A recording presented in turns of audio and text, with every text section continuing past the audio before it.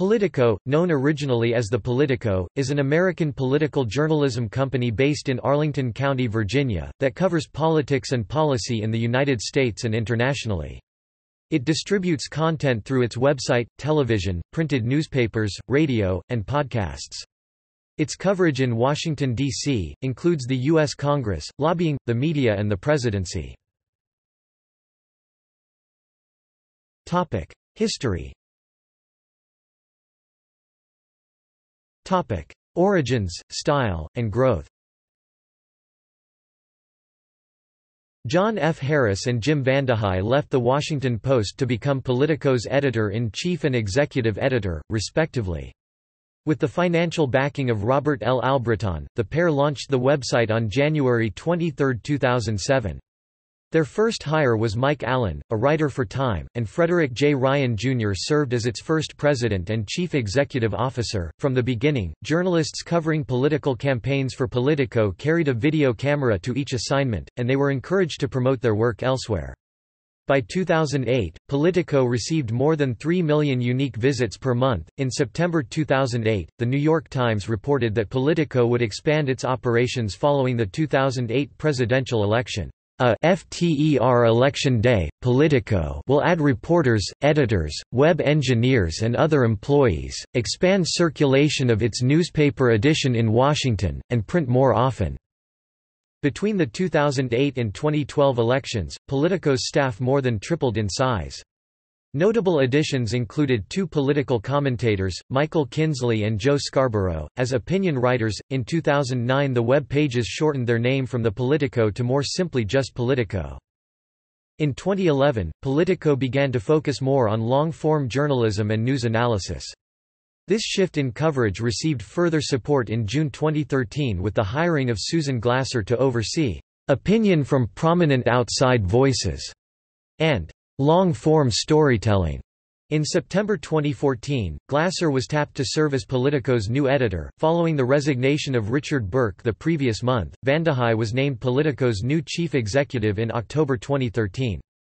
Under his leadership, Politico continued to grow. In 2014 alone, it expanded revenues by 25%.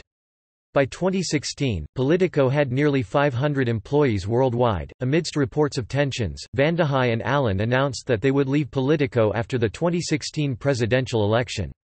Albritton was named as CEO in Vandehei's stead. In April 2017, Politico announced that investment banker Patrick Steel would succeed as Albritton as CEO, effective May 8.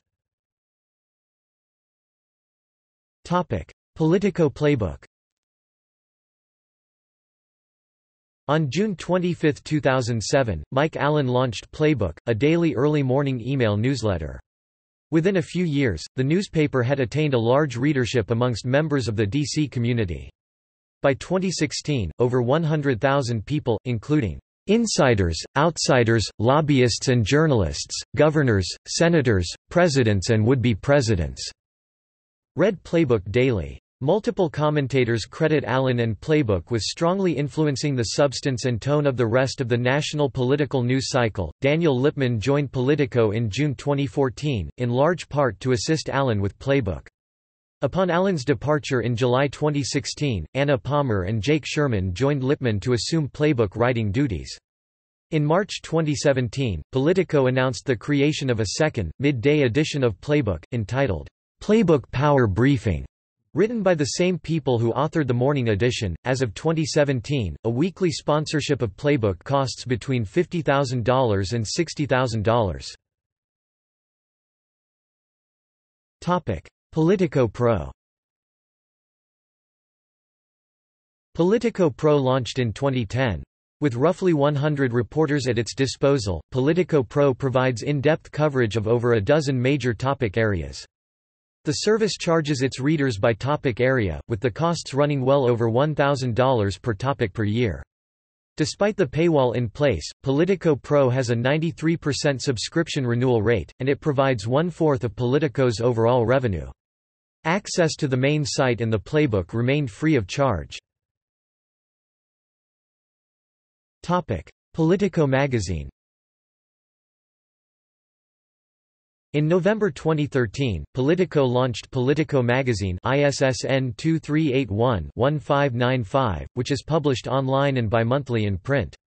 In contrast to Politico's focus on politics and policy scoops and breaking news, Politico magazine focuses on high-impact, magazine-style reporting, such as long-form journalism. The first editor of Politico magazine was Susan Glasser, who came to the publication from Foreign Policy magazine. After Glasser was promoted to become Politico's editor, Garrett Graff was named as editor, followed by Stephen Heuser. In December 2016, Blake Hounshell was named the new editor-in-chief of the magazine, along with a targeted free audience of roughly 30,000 readers. Politico magazine is available via subscription for $200 per year. Content from Politico magazine is also accessible online. Topic: State editions. In September 2013, Politico acquired the online news site Capital New York, which also operated separate departments covering Florida and New Jersey. In April 2015, Politico announced its intention to rebrand the state feeds with the Politico name Politico Florida, Politico New Jersey, and Politico New York to expand its coverage of state politics. In September 2018, Politico announced it would launch Politico California Pro. Global expansion In September 2014, Politico formed a joint venture with German publisher Axel Springer SE to launch its European edition, based in Brussels. In December 2014, the joint venture announced its acquisition of Development Institute International, a leading French events content provider, and European Voice, a European political newspaper, to be relaunched under the Politico brand. Former Wall Street Journal editorial board member Matthew Kaminski is the executive editor of the European edition. Politico Europe debuted in print on April 23, 2015. Topic: Website redesign On March 27, 2018, Politico revealed that it had redesigned its website for the first time since 2014. Changes included a redesigned and more mobile-friendly home page, a different typeface with DIN replacing Proxima Nova, and a new Quick Pops feed of breaking news stories. Controversies Politico editor Michael Hirsh resigned in November 2016 after publishing the home address of white nationalist Richard B. Spencer on Facebook. Politico magazine published an article in April 2017 purporting to show long-term links between U.S. President Donald Trump, Russian President Vladimir Putin and the Jewish outreach organization Chabad Lubavitch. The article was widely condemned, with the head of the Anti-Defamation League, Jonathan Greenblatt, saying that it evokes age-old myths about Jews.